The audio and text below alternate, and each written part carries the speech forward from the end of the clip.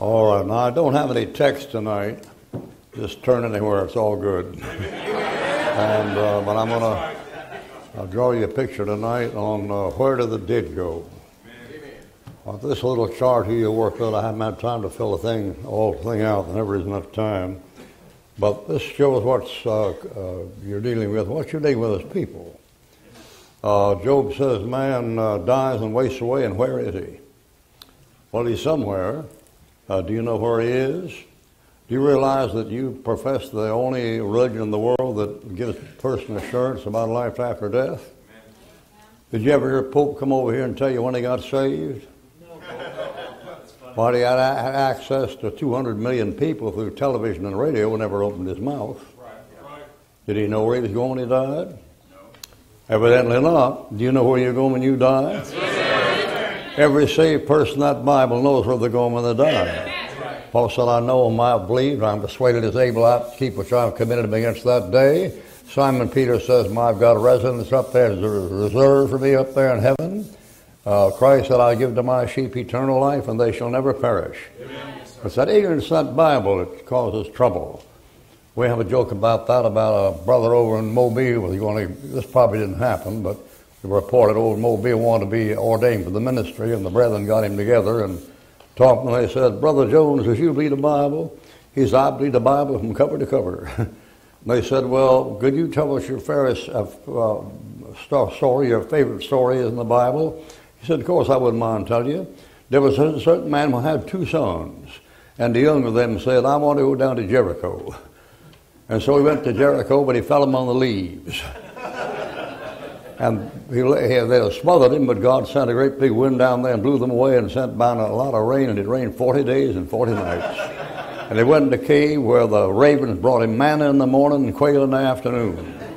And so when he come out, there was a great river, so great that no man could cross it, so he passed by on the other side. And as he come down to Jericho, he seen old Jezebel sitting up in a sycamore tree. and, and he said, hey, throw that old gal down. So that, now, you know why some of you aren't laughing? You don't know whether I'm telling the truth or not. he said, cast her down. They, they chunked her down. He said, chunk her down again. So they chunked her down to 70 times 7, and what remained was baskets full with men, women, and children. And the question I want to ask you, gentlemen, the Presbyterian is this whose wife is she going to be in the day of judgment? now, I've given that churches, and nobody, I've, I've given that churches up north where a guy would say, Amen. My God, man. Now, let's just face it, Americans don't read that Bible. They sit around, push buttons, and look at stuff. I'm not going to embarrass you, but suppose I want I told you ladies to stand. And we went right around here, and I made every one of you give me four verses on how to raise, raise children. Could you give them? I didn't say you weren't a good mother. Don't, don't try to make a fight just because you're stupid. I mean, I asked you to give me four verses on how to raise children, Amen. and you can't do it. And this is a good church here. This is a Bible-believing church. Amen. Well, my people, they've been boy, exposed to the Bible. Boy, they, have had everything that is in it about 25 times. But if I, I had you men stand up, give me four, four verses of what the Bible says about sports. You couldn't do it. You know, well, I believe it, yeah, but what did God say about it? You ain't got an idea in this world. The average Christian handles the Bible just like an unsaved atheist does. You don't know what he said. Now, it's so quiet now you can hear. I say. You say, why? Because I'm telling you the truth and you know it. All right, now here, here's what you got. You got Christ dying on the cross for your sins, and you sang about it here tonight and sang good about it, and it was you he's singing about. Now, what are you? He says in 1 Thessalonians, I pray God your whole spirit, soul, and body be preserved blameless on the coming of our Lord Jesus Christ faithfully he that calls you who will do it. You have three parts to you. There's a, a uh, uh, doctor in America knows that. You have a body, you have a soul, you have a spirit. A man is composed of three things. If he's composed of three things, God has to be a trinity because man was made in the image of God. If man was made in the image of God, God has to have a body. Jesus Christ shows up. He has to have a spirit, the Holy Spirit. And he has to soul, has to have soul. Nobody sees the soul. Right. look here, I come here and I said, I say to you, he that has seen me has seen Pete Ruckman.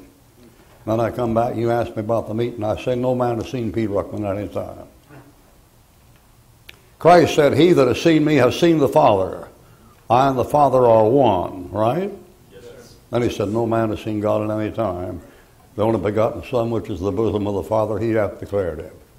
Now, see that stuff? That kind of stuff, what's the trouble? The trouble's right here. What's the soul? You haven't got a medical doctor in America can tell you, not even a Christian one. You read all of, of, uh, of the best notes by uh, Brother Scofield, he's a good one, and Chuck Larkin, he's a good one, and Bullinger, he's a good one. They never found it. You know what the Greek said? It said like a ping pong ball or like a bead or like a marble in your head somewhere or your left ventricle of your heart, and when you die, came out of your mouth. That's not your soul. You know that Bible says in one place it said the rich man was in hell and lifted up his eyes. Why his physical eyes are up in the grave. What's he doing with eyes down there? Send Lazarus and tip the tip his finger in water and cool my what? Tongue. tongue. He ain't got no tongue down there tongue's up in the grave. Well, he, well, what is it? See, that stuff well, nobody knows. If you went to any cemetery in this country, that's good as a seminary.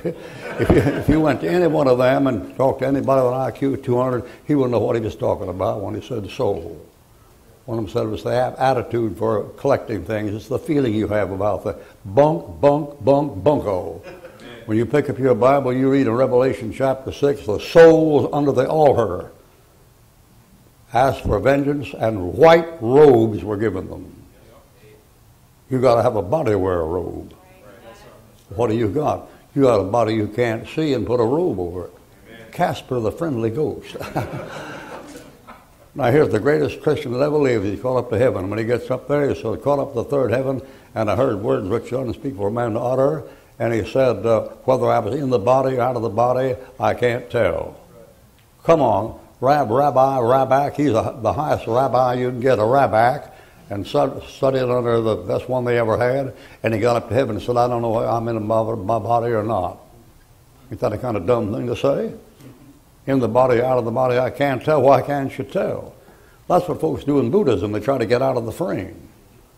That's what you do with drugs you try to get out of the frame because all the trouble comes from the frame.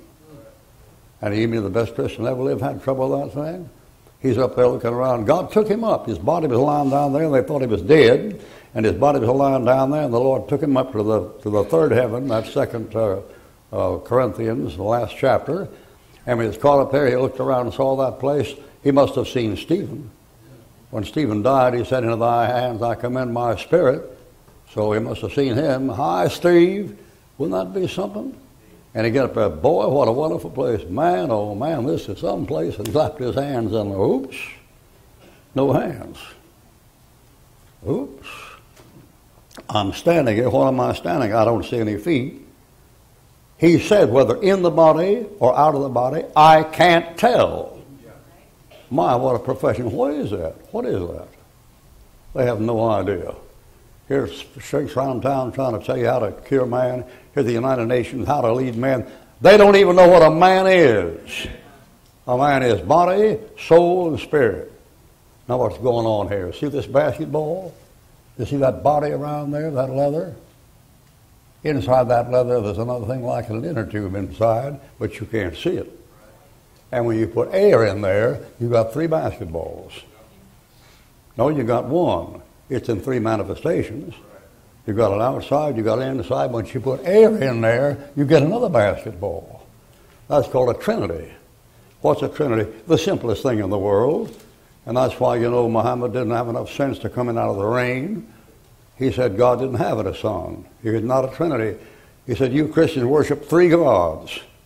See? So your idolaters get you killed. That's because oh, oh, oh, Muhammad didn't have the sense God gave a brass monkey.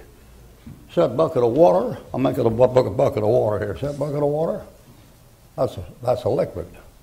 I can take that thing and freeze it, and it's a solid. I can take that thing and put a fire on it, and it's a vapor. And it's the same bucket. It isn't three buckets of different water. The same water is three parts. It's a vapor and it's also solid and it's a liquid. Why, Trinity is one of the most simple things in the world. No wonder Muhammad couldn't get it. He was dumb as a bunch of rocks. you see that thing right there, that sun shining? That thing has heat rays. You can feel them, but you can't see them. It has light rays. You can see them, but you can't feel them. It has actinic rays, and the actinic rays, actinic rays, you can't see them and you can't feel them. Every day the sun illustrates the Trinity. When it goes up and goes to bed at night, or some done up saying you worship three gods. We, we worship one God in three persons. Christ said, He has seen me has seen the Father. No man has seen God at any time. What's he saying? You've seen God's body. He says, I and the Father are one. God manifests in the flesh. God's body is Jesus Christ. What's his spirit? The Holy Spirit. What's that soul? Well, whatever that soul, it must look, look awful lot like Christ. I mean, that one looks an awful lot like that a basketball there. The soul is a bodily shape inside your body. And there's a medical doctor, saved or lost, that knows that. You have inside your body a body just like this one. You got a hand cut off like this, and about a year later you say, Mama, my fingers itch. And mother says, honey, you don't have any fingers, your hand's gone. Yeah, but they itch.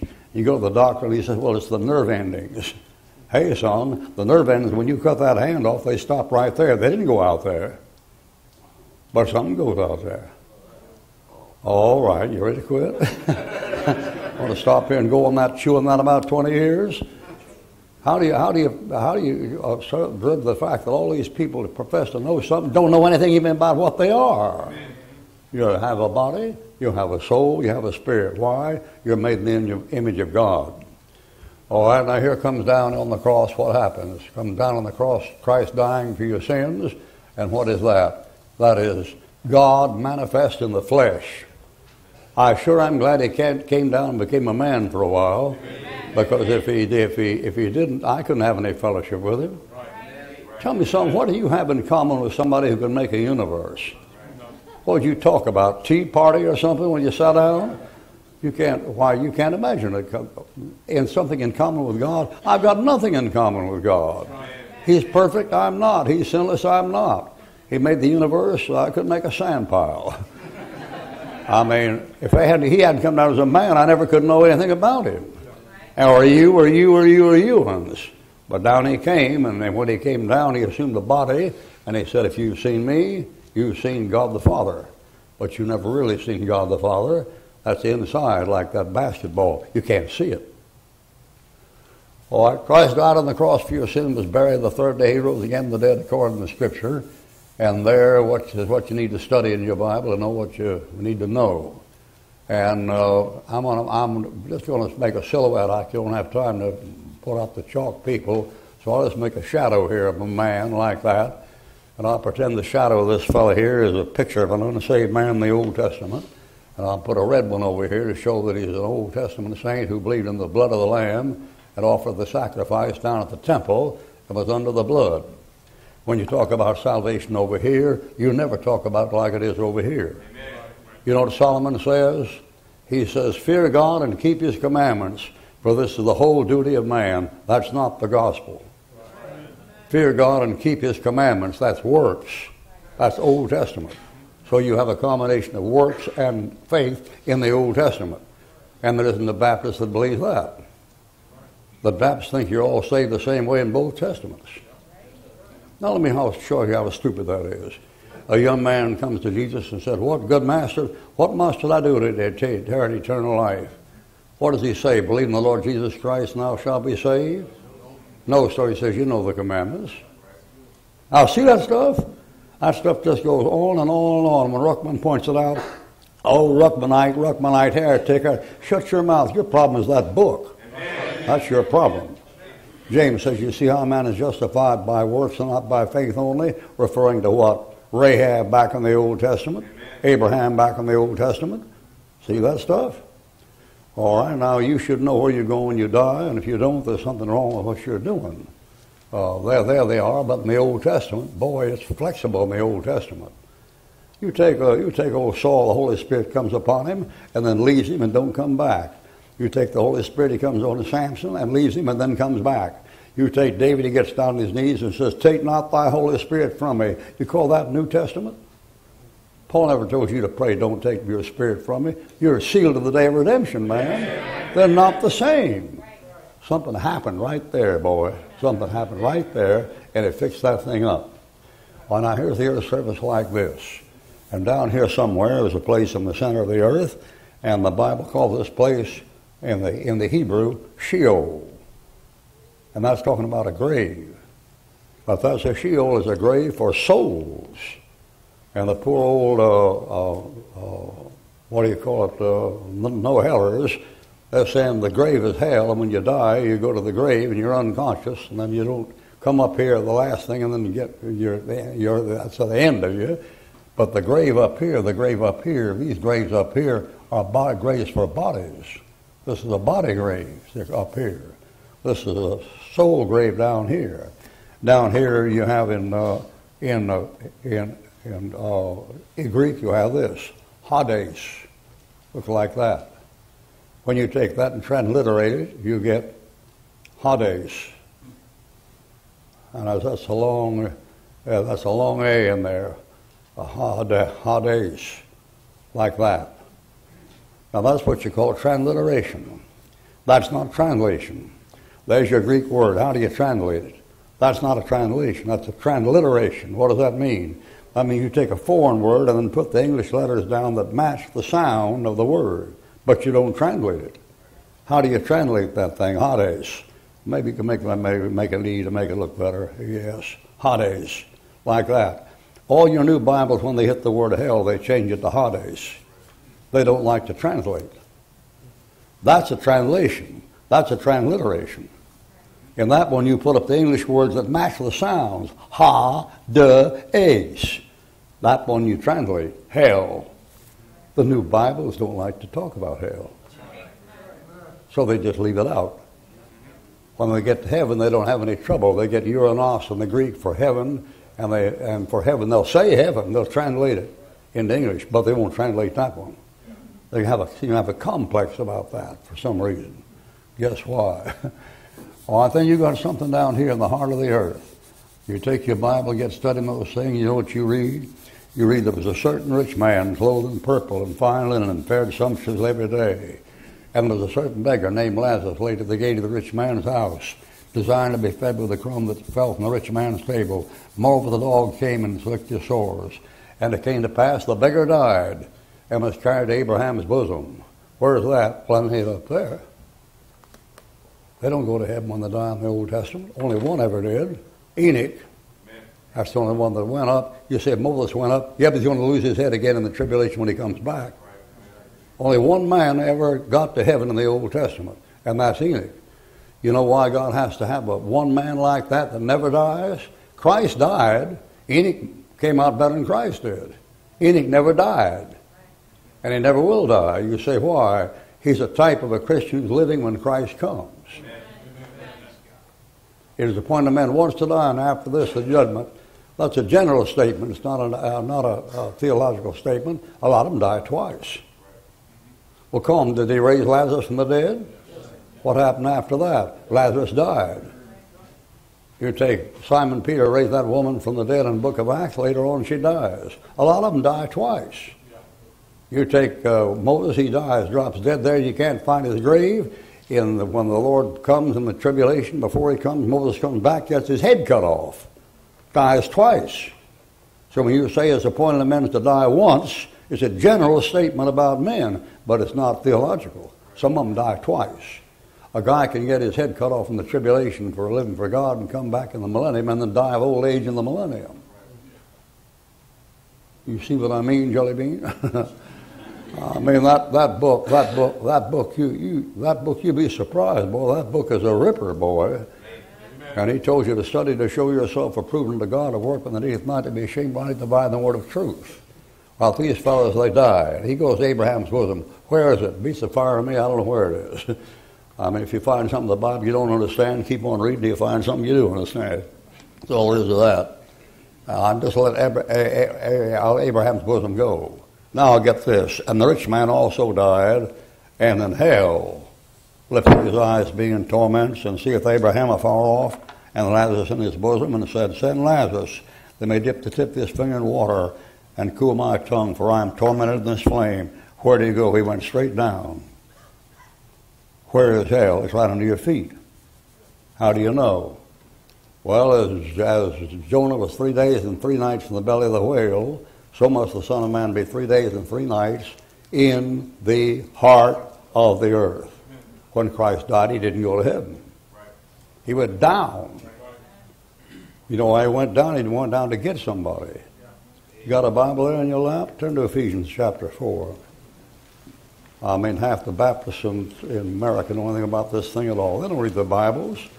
We, we, I don't know if they read Pogo or what, what, what they read.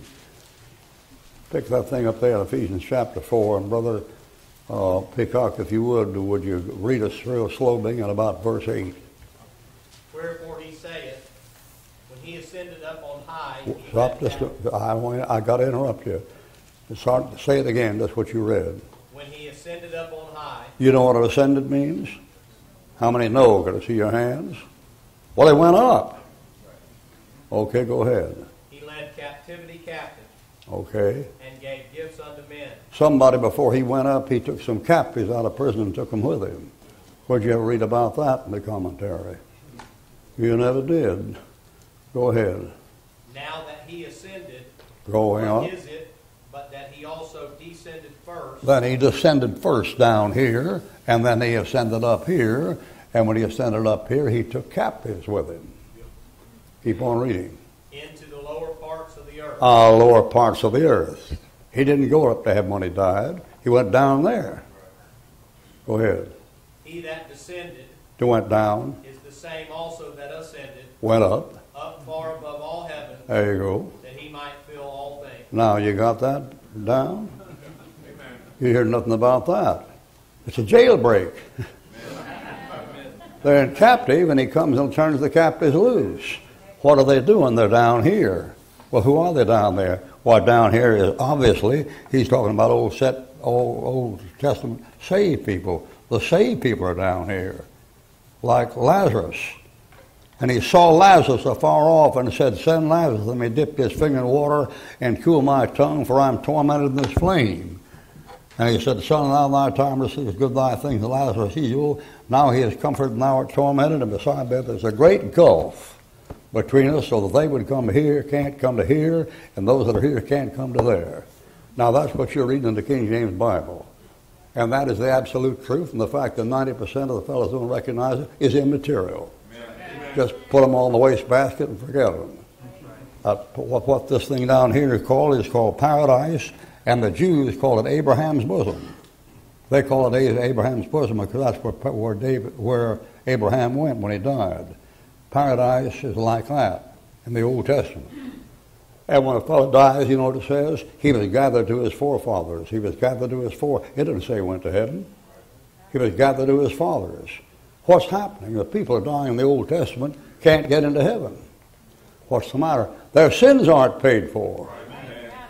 Back there in Deuteronomy, the Lord God forgiving, He forgave all kinds of things that'll not take away sin. When Christ shows up, John the Baptist says, Behold the Lamb of God that taketh away the sin of the world. When He gets through, you get up. But till He gets through, you ain't going nowhere but right down there. Look at here, dying thief hanging on the cross. Lord, remember me when you come into your kingdom. Verily, verily, I say unto thee, today shalt thou be with me in where? Paradise. He didn't go to heaven, went to paradise. It's right there. Like that. That day, Christ, this day going to be, it, that day Christ died. And the thief did after that, and they met down here. So what he did was come down through here and go through here and go through here and then come up there work on that one a while. If he went through here, he had to open the door to get in there, and if he had to go out of here, he had a door to get out. So when he shows up in the book of Revelation, he says, I'm the Son of Man, I was dead, and I'm alive, and have the keys of death and hell. So he's the keeper of the keys. You know, those keys occur on the papal flag in Rome. Like he's got the keys to heaven and hell, the Pope's got them. No, he don't. Right. You know, years ago when Martin Luther King was coming down here and the Catholics were coming around trying to get converts, they made the mistake of taking a little black boy there, been a Baptist deacon for about 40 years, and they said, what church you belong to? I was a Baptist. They said, well, you belong to the wrong church. You ought to belong to the church that has the keys. Jesus gave the keys to, to Simon Peter. He said, shucks, boys, I don't need them keys. I got the dope. Amen, brother. I don't know for fool cotton picking keys. I got the door, man. All right, now what did he do? He went down here and preached to the souls in prison. That's in the first Peter's. Then it says, For this cause was the gospel preached to them that are dead, they might be judged according. That's in First Peter. And nobody picks it up. He steps over here and says, You fellas waiting for the hot squad? you know, gonna ride gonna ride the lightning? and they say, Yes, all right, it's gonna such and such a date, see you around, off he goes.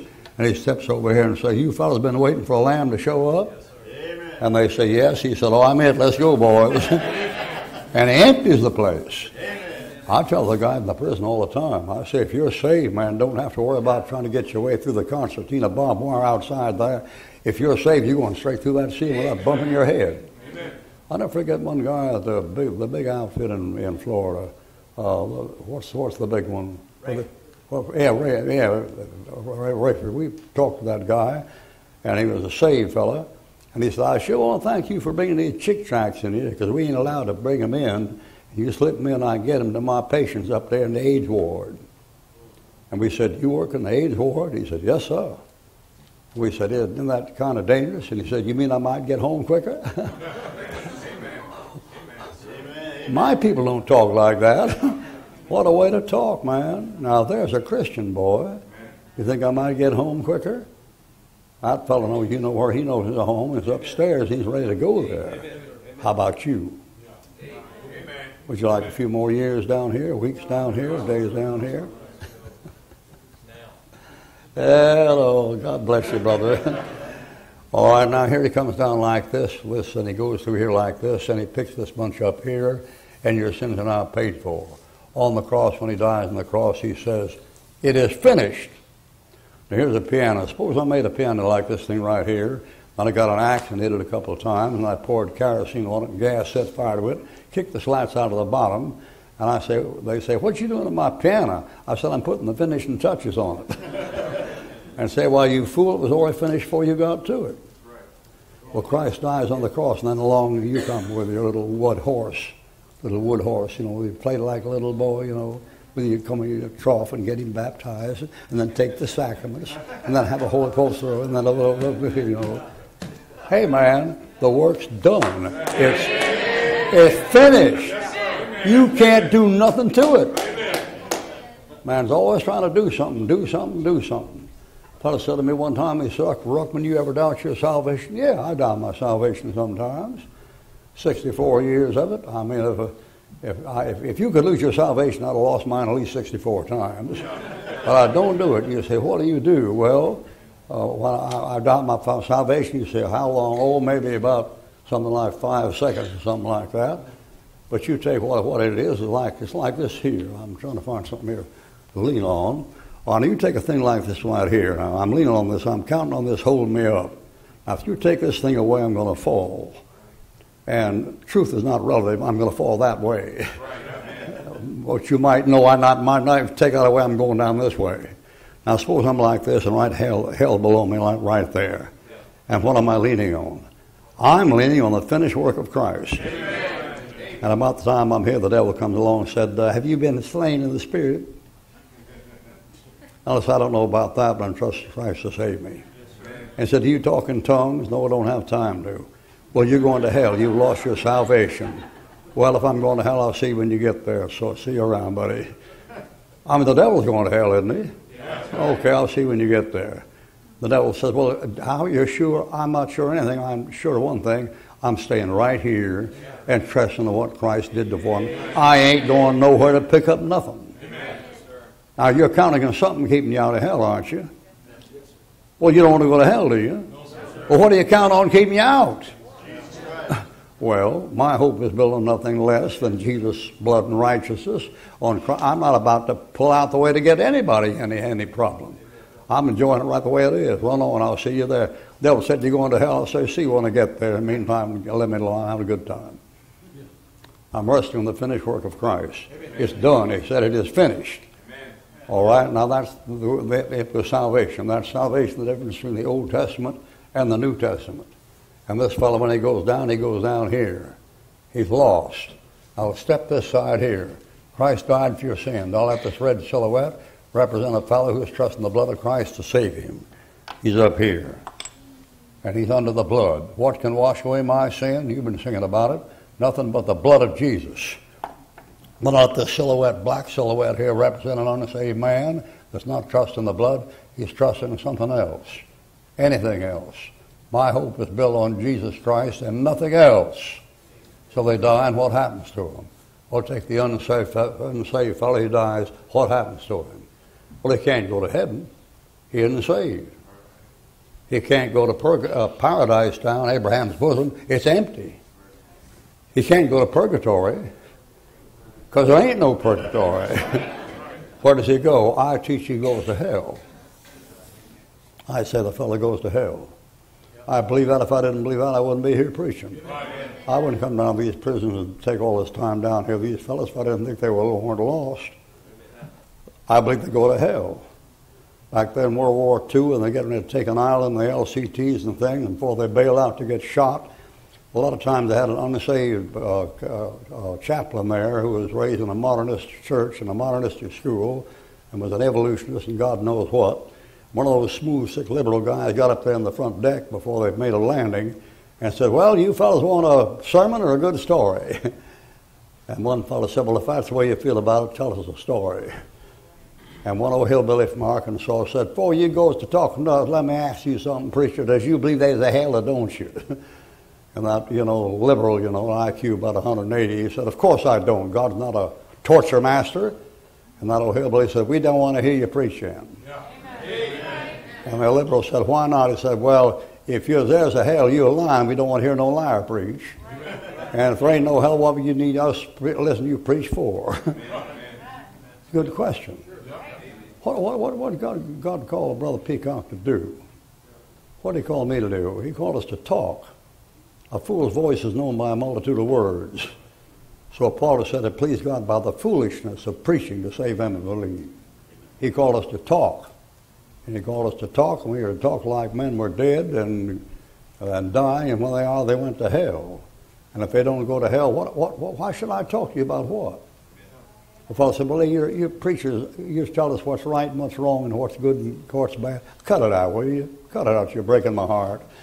I mean, you got anybody, nobody in this building, 15 years old, doesn't know that if you want to find out if a thing was right or wrong, all you had to do was go home and kneel by your bed and close your eyes and ask the Lord to tell you and show you, and you'd know before you got up. Amen. Well, that's what preachers are for, what a preacher's for. We're here to make the comfortable miserable and the miserable comfortable. My job is just to keep you torn, upset, to where you can't be at home in this world anymore and you want to get home. That's, that's it. My little girl said to me one time, she said, Daddy, is your mother still alive? I said, no, honey, she's dead. She said, was she saved? And I said, no, she, she wasn't saved. We're out in the garden talking, you know, she's about 11 years old. She said, well, she is, is she in hell right now? And I said, yeah, if she died without Christ, she's in hell. And she said, well, is she screaming right now? Now, some of you Southerners don't understand what I'm saying. You'd put your family ahead of God every time. Amen. I'm not that way. When that book says one thing and my mother says something else, my mother's wrong. When that book says one thing and my wife says something else, my wife is wrong. When that book says one thing and I say something different, I'm wrong. And I said, yeah, I guess she's still screaming. You shouldn't have told her. What do you want to have me do? Lie to her? See that stuff? Listen, do you think those of us think people are going to hell? Do you think we get some kind of sadistic thrill out of telling you that? I don't get any. I'm talking about people burning. If I saw a cat running along, he's on fire, and I had a bucket of water, I'd throw it on him and cool him off. Oh, but I hate cats. but I wouldn't want to, want to see, see him burn to death. I bet you can't find anybody, find anybody you hate. Of course, some of you hate pretty good. But I bet you haven't got anybody that you hate enough so you'd like to see him burn forever. Come on now, forever? No, sir. No, sir. Maybe a couple of hundred years, you know. You, oh, yeah, man. Oh, yeah. I preached that one time in jail and said that, but you want to see him uh, uh, uh, suffer forever and ever. And I heard a big bass voice in the back say, Yes, I would. Pretty mean fella. But he never tried living with a fella burning that long. I wouldn't want to see anybody burn that long. But they go, they, they, they, go, they, they go to hell. If I didn't believe that, I'd quit preaching. I was preaching with a no heller a place one time when I was preaching. I was talking to no heller, witness to him between services. There's a farmer down there in South Alabama, and we get talking about this and that, and he gave me ten verses to prove there wasn't any hell, and I gave him twenty to prove there was. And after I got through talking with him and I got nowhere, I finally said uh, uh, uh, to him, you know, I said, I said, uh, you, what you've got may be all right for you, but not, not for somebody else. We need to know where we're going when we die. And I said, you don't know where you're going when you die, so what is good of what you got to, to speak?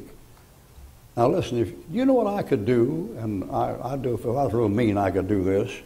If you could call me in for a week meeting, Monday night I could prove to you conclusively there isn't any hell with the Scripture. I know what the Scriptures are. I could turn you right to them. And then Tuesday I could prove there is a hell. You can prove anything with that book if you mess it up enough. If you add to it or take from it or take it out of the context, you can prove anything.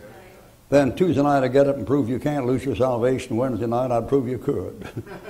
and then Thursday I'd get up and say you ought to go to church on Friday and Saturday like a seven day Adventist, and then prove you ought to go on a Sunday. And then the last night I was there, I'd say, well, have a good day, and go out the door, and just leave them all tore up. I'd say, Ruckman's a heretic, a heretic. I'm the funniest heretic you ever saw. But I know two of the Bible. If, you, if I wanted to be a heretic, boy, you talk about one, I'd be a beauty. Because I know where the verses are. The first thing I do is put a sign out in front of the church saying, the church that Jesus Christ founded, the church, the only one in town. How? Scripture. Thou art Peter. Well, that's what they do. Thou art Peter, and upon this rock I'll build my. I'm right. Listen, if I want to, I, I know where the scriptures are. Say you come here next Sunday, you all have a sex orgy right here Sunday morning. I know exactly where they are. Come to Bethel. That's the house of God and transgress. That's the Lord commanding you to come to His house, Bethel, Bethel, and then live like the devil. I want to rob a bank? Nothing to it.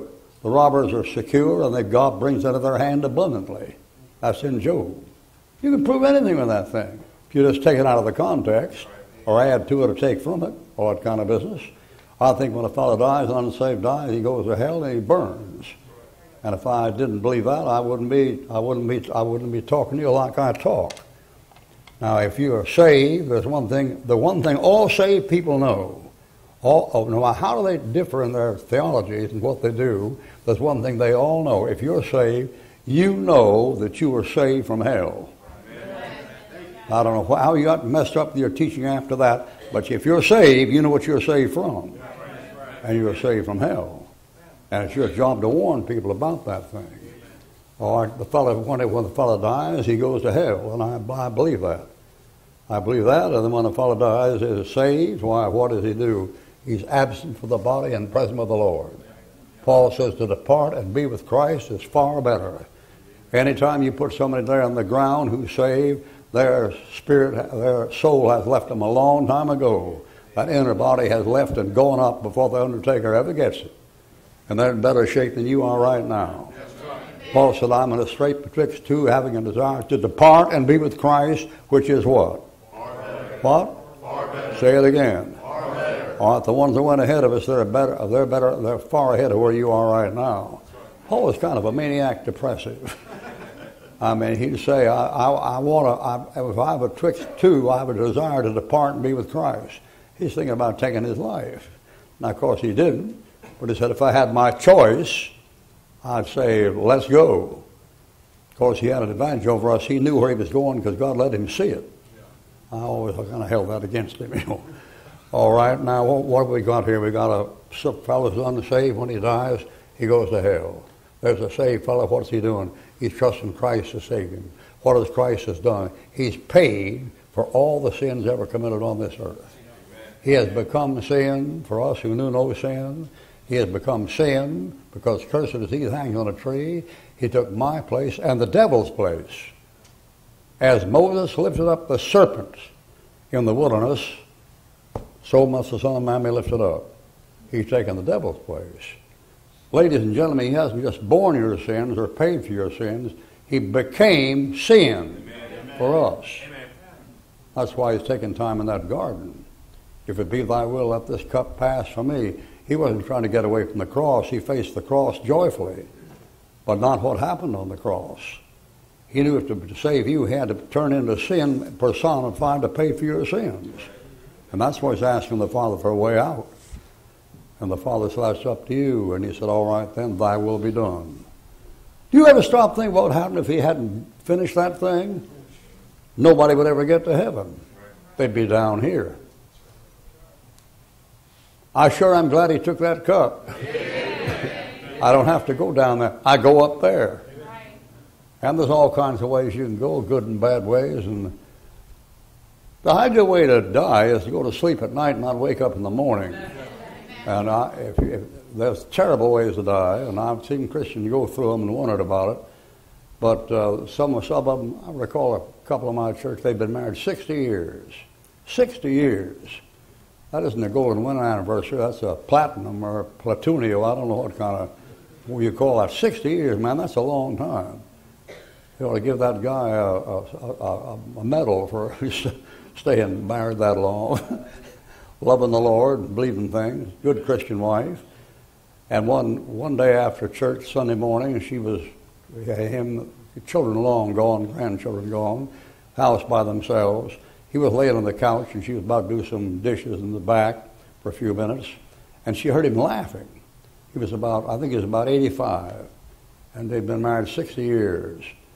And she came in the room and he's lying on the, bed, on the sofa in the living room laughing. And she said, What are you laughing at? He said, I don't know. I just feel so good. She said, I just, there's something, I never felt like this before in my life. She said, Well, keep kind of quiet. went back in and he laughed. She heard him laugh a little while longer and then was quiet. And 10 minutes later, she went in there and he was dead. Gone. Now, boy, that's the way to go. And that way the doctor's going to get a cotton picking dollar and the hospital's going to pick up 25 cents. That's the way to go like that, boy. If you go like that, that's a good way to go. Oh, boy, my church was, he was, his daddy was dying, an old-time Methodist preacher, and every now and then he'd kind of recover and then get sick and recover. One day he told his boy, he said, ah, I'm going to go home today, son. The boy said, well, Daddy, you always been saying that. I'll call the doctor. He said, no use calling him. I'm going today. That's this time for sure. The doctor came over and gave him a shot. Got out there in the backyard under the mimosa tree and drinking iced tea and just shoot the bull. And about that time, that old retired preacher looked up in, in the air and looked across the garden and said, Wow, look at that. Man, oh man, that's the prettiest room I ever did see in my life. And then he turned to his son and the doctor and said, What made me say that? And the boy, his son said, I don't know, Daddy. And he said, Well, he said, bye bye. well, he's gone. Two seconds right there. Well, bye bye. Bam, out he goes. Boy, blessed is the person who can die like that. If I had to go before the Lord came, I always wanted to be shot. That's why, I, with, with a guy who knows how to aim, you know. I mean, I, I, I want the bullet to go two inches below the helmet liner, you know, right in the middle where I get home quick. And when I die, I intend to do a very nasty, nasty thing, which probably won't let me get away with, but I would give what they call the Prussian salute. and you probably don't know what the Prussian salute is anymore, and I certainly ain't going to tell you here. but it's not exactly clean, you know.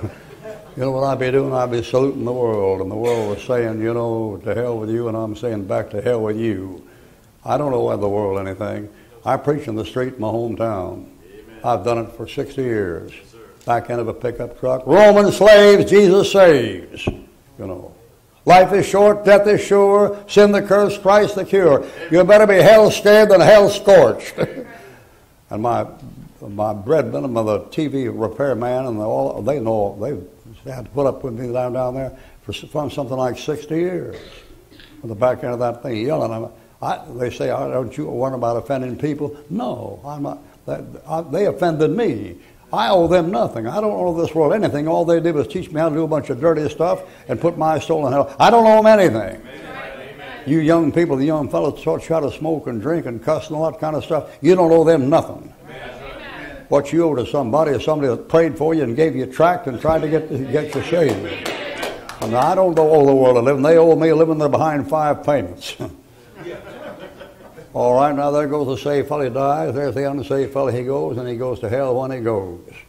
All right, now is that all there is to it? No, that's not all there is to it. I don't have time to draw you the rest of it. You've got Christ coming back in a moment the twinkling of an eye, and the dead in Christ shall rise first. And we which are alive shall be caught up together with the clouds to meet the Lord in the air, and so shall be ever with the Lord. Judgment seat of Christ, then you come back and you reign on the earth with Christ for a thousand years. That's the thousand year reign of Christ on this. So I don't have time to go in all this. And when that's over, then she ends. And those passages are the second Peter chapter three. A new heavens and new earth. Second Peter chapter three. And other than that, I gave you a whole thing on the Bible, on the whole Bible. I took you right down to that place where there's a new heavens and a new earth. And there's Second Peter chapter three in that last chapter. And at that time, you run into this scene here. And this scene here is found, if you got a Bible, turn to Revelation chapter 20. And Brother uh, Peacock, if you would begin, begin to read for us out of verse 11, slow and loud.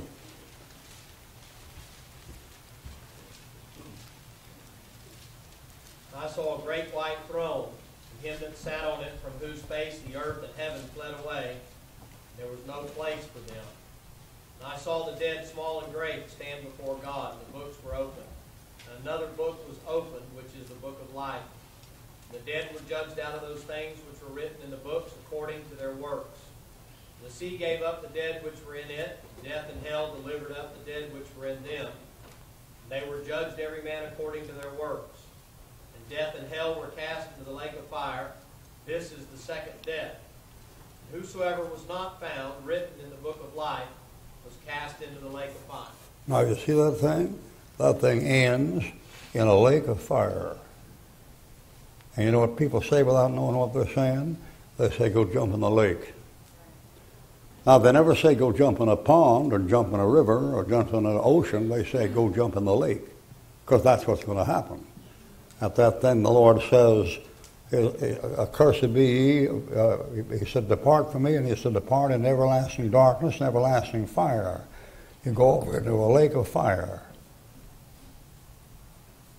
And when Christ comes back uh, at the, at the end of the tribulation, he comes in, he says, Cursed be ye, so cursed be those those don't accept him. And he says, You're going to be depart to everlasting fire, prepared for the devil and his angels. That's prepared for the devil and his angels. And where he read it said, Death and hell were cast into the lake of fire. Did you see that in that passage? That means when you die, you go there, but you don't stay there. That's temporary. Because when that thing takes place, you're, kept, you're called out, and there you get your second chance. You hear people say, I think God will give me a second chance to be saved. Sure, He will. Right there, if you call out a chance. You're going to come down here and you're going to come up there and you're going to have the last time you're going to ever see the Lord and prove to Him that you ought to get into heaven. You're going to have to come up there and show why He did the unfair thing in sending you to hell and you ought to get into heaven. Now, if you want to call out a chance, okay. That would no chance for me. Uh, I wouldn't last a minute. If I had to last before God and give a reason why He should put me into heaven, I wouldn't say one word about loving my wife, which I do, and being true to her, which I am, and giving a half my income to, for tithe, which I do. I wouldn't mention any of that stuff. If I had to hit the Lord tonight, I'd be flat in my face, boy, and I wouldn't open my mouth till I was spoken to. Amen. That's the difference. Why, you think Muhammad would scare me? Muhammad going to judge me? Come in, I say, sit over there, you bum. I got more to do to take care of you. If Buddha came over, I'd say, You lazy bum, you went off and left your wife for 30 years and sat under a bo tree, never did a lick a lick of work in your life. Beat it, we got business here. And if Christ came in here right now, I'd be flatting that for my face, boy. I wouldn't say meow, man. You say, Well, I know who I am. You know who you are? Well, you want to find out, you're going to find out here in the day that God shall judge the secrets of men according to my gospel. Paul says, I'll tell you what the whole, uh, well, Solomon says, I'll tell you what the trouble is. The trouble is, fear God and keep his commandments, for this is the whole duty of man, for God shall bring thee in judgment with every secret thing, whether it be good or whether it be evil. Someday you're going to be out here and you're going to be judged for everything you did. Did what you did in the back seat of the car, everybody in the universe will know all about it. Got to take out a movie of what you've done and thought and said since you were five years old and show it if you want to see it, if you want to prove what a fine fellow you are. Why, why if I took your life right now and showed a full color um, with st- sound, everything you thought since you were five years old, would it be pretty to look at? Why, some of us would get sick and be puking and couldn't look at it. And that's what's going to happen there. God's going to call them up and a, a, a multitude, up they come. And up they come, and they stand there before the Lord, and they give an account of their, the, what, what, what, what, why they think they ought to, get to heaven. And there's some people there that come out of this place, come out of the, the uh, reign of Christ. They'll be there, but their names will be in the book of life. Some of them come out of the tribulation. Their names will be in the book of life. So there are saved people there, but none from this age. The one from this age went out here when Christ came and called you out of the rapture. You're not going to be there down here. You're going to be up here. You got a Bible? Turn to 1 Corinthians. Let me show you something. Let me show you something. You, no preacher preaches this. It's just the King James Bible if you're going to find this stuff here. When, Christ, when the Lord shows up to judge these people, there are thousands thousands before him and thousands times 10,000 with him doing the judging. Look at get 1 Corinthians, and I'm not too sure about this uh, uh, reference. Brother Peacock, if you'd find me one there, that's right after they, they take that fellow and kick him out of church deliver him to Satan for the destruction of the flesh. And then coming down the next chapter, which will probably be somewhere around four or five, it's uh, coming down there and saying, What? No, you're not. You shall judge angels. Where is that? Okay, read that for us, would you? Do you not know what saint shall judge that saint shall judge the world? Stop, stop. World? Now I have to stop, but you got to get this. Read that just what you read then and stop. Do you not know that the saints shall judge the world? You didn't know that. You didn't know that when you came in here, did you? That someday you'd judge the world? How come you didn't? Do you, what do you read? The funny paper? That's the Christian. They don't read that book. Every Christian ought to know what he just read. You're going to judge the world. Now they're judging you right now. If you're living for the Lord, they call you a fanatic, and if you don't live for the Lord, they call you a hypocrite. Well, someday you're going to judge them. You say, why? Scripture. But nobody quotes the Scripture. The preachers don't quote it. Now, read some more where you're reading. And if the world shall be judged by you, are ye unworthy to judge in smallest, the smallest matters? Know ye not that we shall judge angels? Whoa, look at that. How about that one? You not only judge uh, the people, you judge rebellious angels. Boy, you're somebody, aren't you? Go ahead. How much more things that pertain to this life? All right, now that's what's going to happen to you. When Christ does it, have this last throne judgment, he's going to judge God hath ordained a day when he's going to judge the world in righteousness by that man whom he hath ordained and give assurance everywhere, and he raised him from the dead. The judge is going to be Jesus Christ, but he got a bunch with him. You got a jury. Who's that? That's you. That's you. You know where I'm quoting? Of course not. I'm quoting from Daniel, where he said, thousand thousands stood before him, and ten thousands times ministered to him. That's you. You've been just like Christ for a thousand years. And so you take part in the judgment and you judge with him. Now, do you think I'm going to enjoy seeing my mother come up there? My daddy? You don't read in your Bible that all tears are wiped away until uh, chapter 21, after the white throne judgment. So I'll see Mama come out of where she's been down there for, she's got to be down there a thousand years. That's the millennium. And up she comes, rags of a self-righteousness, depart me, cursed and everlasting fire. You think I'm going to rejoice about that? That's why that Bible says about God will wipe away all tears from my eyes. That occurs two times in Revelation. You know where they are? One of them is after the judgment seat of Christ, and one of them is after the white throne judgment. You say, I wouldn't weep. I'm like Christ. Christ wept over Jerusalem. Went to Lazarus' temple where Lazarus was buried, and he said, Behold how he loved him, and Jesus wept. So the tears no teardrops in heaven. There are plenty of teardrops in heaven until here, till this is over. And up they come and down they go. Now I'm going to pretend for a minute, and I hope I'm pretending wrong, but I, I want to pretend for a minute that you wind up in hell. And I hope you don't. But if you do, I'll tell you what's going to happen. You're going to be in there, and you're going to be in there weeping and wailing and gnashing of teeth and God knows what. And then after years, year, years and years, you're going to come out and when you come out, you're going to come up here. And when you come up here, there's nothing to stand upon. You just read where he just read you had said before whose face the heaven and earth fled away, and there was no place found for them, and I saw the dead. See? There's no earth there. Technically, they're not resurrected. The earth and, and just goes bam like that, and there you are standing there like you were in the grave. And if you stand like this and you look down like this, and there's about uh, 20 million light years below you of darkness, and there's nothing under your feet. And you'll stand there and face that light and turn away from that light, light no man can see or look on the sea. And you look down there like this and you say, My God, what's holding me up? And the first thing that'll strike you is, God's holding me up. Because there ain't nothing to hold you. You're standing out there in the air. You're not dropping. What's keeping you there? The Lord's keeping you there. Now, I don't have to learn that. I got that down. I'm standing here right now. Why am I standing here? Because the Lord's holding me up. Oh, your legs hold you up. They ain't worth a dime. They could collapse right now. You get a good gut blot, plotting over you like that. I know why I'm standing here. It's because the floor, the Lord can get this earthquake and knock away the floor and drop you down there 300 feet. I'm standing here because God lets me stand here. And they'll finally get to you. But boy, too late. You stand there like, you look up like this, and there's that light again. You can't look at it. If they're running your record, you won't be able to look at it. Probably you'll be saying, turn it off, turn it off, turn it off, turn it off. I, I, I surrender. You are, you're right, I'm wrong. And then he'll say, all right, before you go, down on your knees. And down you'll go on your knees and out in thin air. At the name of Jesus, every knee shall bend, every head shall bow, every tongue shall confess that Jesus is Lord of the glory of God the Father. Down you'll go and confess Jesus is Lord. And the Lord Lord say, out, out.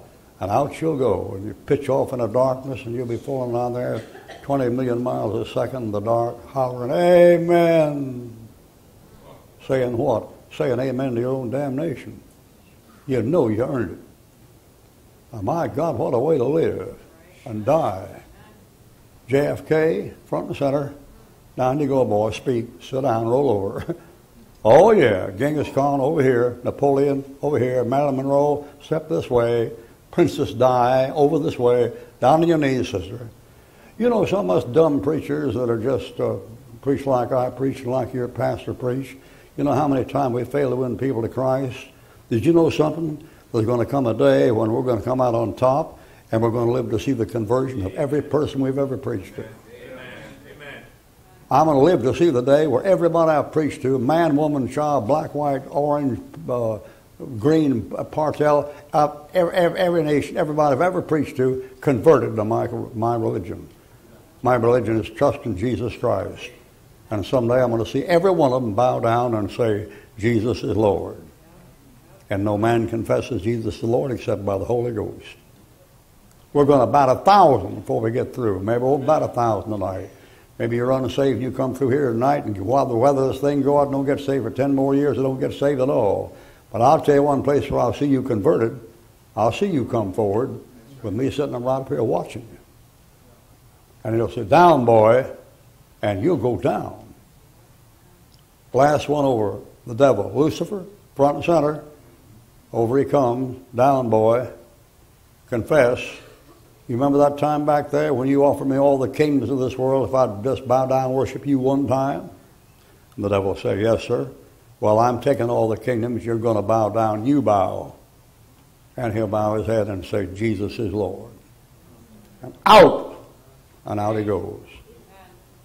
Now, for God's sake and for your own sake, for your family's sake, don't let that happen to you. If I die right now, this minute standing here, I'll hit that thing right there and kick around, you know, and bite my tongue and stuff, and I roll around in my head, you know, and somebody say, get an ambulance, call somebody, woo, woo, get, get back, get some water and all that stuff. I'll just step out of my corpse. My, my soul will step out of the corpse and stand there and say, cool it, man, I'm okay, I'm okay. Cool it, man, I'm okay. You won't hear a word I'm saying. and about that time, two young men will show up about 33 years old, and none of them will have wings, and they're not from an insurance company. and they'll get up, they'll show up, and they'll say, "You ready to go?" And say, "Am I ready to go, man? I've been ready to go for 64 cotton picking years. Let's go, and I will go." And if that's you, you're up a goal, you'll begin to feel the presence of God like you never felt it before in all your life. Then you'll hit a thing over there, the lights are bright on, put your eyes out. And the next thing you know, you'll feel a peace and a, a, a, a love and a welcome like you never faced down here at all. And there you're going to wait absent the body, present with the Lord, till the Lord comes. And then you're going to come back down here and get you a brand new body just like Jesus Christ. Which means you'll be able to become visible and visible at will and move faster than the speed of light and eat and eat, like I told you the other night, and never get fat. Would that be wonderful? Yes. All right. Uh, you had enough now for one night? a bunch of fanatics. how, many ever, how many of you ever been called a Ruckmanite? Let me see your hands. Now, you know how silly that thing is right now? It, somebody said one of our boys preaching down the street, he was a PhD from Bob Jones, and we pulled one of our street preachers, said, You're a Ruckmanite. And he said, What's a Ruckmanite? That's a good question. What is a Ruckmanite? Well, somebody believes everything Ruckman believes. My own kids don't believe everything I believe. and he told this fellow, he said, uh, Ruckman, uh, do you believe the King James Bible was perfect? And the kid said, yeah. So you don't believe it has any errors in it? He said, no. And he said, Ruckman taught you that. You're following a man. And I happened to have a sharp kid on the, on the street that day, and he said, uh, well, do you believe it does have errors? And he said, of course. And he said, what man were you following? Yeah. See? Boys and girls, it ain't Ruckman. It's that cotton picking book. That's the problem. They can't stand it's the book. All right, let's stand for prayer. Let's stand for prayer. And if your musician would come and play something for us, and I, I suppose in a congregation like this you're all saved. Might be, I don't know. How many of you are, how many are saved and know it? Would you raise your hands? Hold them up a minute, while. Let me just look around. I can't see much really, but most of it looks like just about everybody. But if there's somebody not not saved, you better take a long look at that.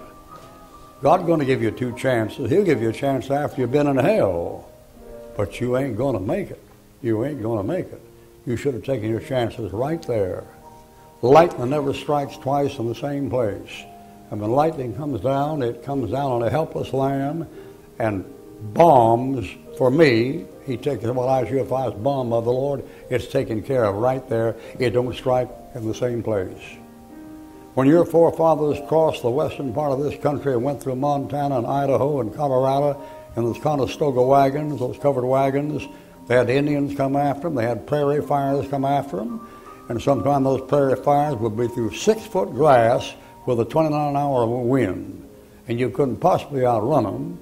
So the old fellow would get out of the lead uh, wagon and strike tinder and light and let it burn out ahead of them. And they watch it burn out ahead of them. And as it burned out ahead of them, they take the caravan and move it into the place it was burned. And when the fire caught up to where he began the fire, it couldn't burn them. It was already burned. And when the fire from God catches up, it isn't, going to get me because it's already burned. It's burned right there. My sin got burned up right there. My God, my God, why hast thou forsaken me? That's a man in hell who's paying for sin. And that's the one that died in my place and paid for me. God's not going to hit it twice. He hit Christ for me. Amen. Let's pray. Father, bless your people here tonight. Keep them in your word and give them a love for your word and a thirst for your word. And they'll not be caught short when they hit the judgment seat of Christ and find they haven't spent the time that they should. I pray you might speak with them about it. Most of all, I pray you might speak to them about their neighbor or the people around them or the people they work with and have them see the real condition of these people. And Lord, give them the courage to speak up and do something about it, I pray. Now let's remain in prayer, heads bowed and eyes closed. And in a minute we're going to close up the service. But before we close up the service, I want to impress upon you once again your responsibility. You know what happens to unsaved people. And you can't stand before God and pretend you didn't know. You know. What have you ever done about it? Pray a little while, think. Have you had a stringer? Christ said, if you follow me, I'll make you fishers of men. You got a stringer? Where is it? You profess to follow Christ? That must be false profession. He said, Follow me and I'll make you become fishers of men. Well, if you're following him, you're catching some men for the Lord. Are you catching anybody for the Lord? He said, If you're following me, you're doing it. God help you. God help you. Brother Peacock, come here. Let's remain in prayer for just a minute. Your heads are bowed. Think for just a minute about what the preacher told you. You know a lot. You know more than most preachers know. The question is, is will you take what you know and do something with it or just let it rot inside your brain? Probably, if not the best, one of the best meetings we've ever had. You ever just stop for just a minute to pause and say, Lord, thank you for keeping that old preacher around for another year. Thank you for letting our church be involved in 208 grown men and women trusting you as their personal Savior. Thank you for a place where we can come and a board for Him to draw on and Him being able to stir us up again maybe just pause for a minute and think about it. God's been good to us. Not to end on a low note, but to him who much is given, much is required. Let's do something with it. Let's do something with it.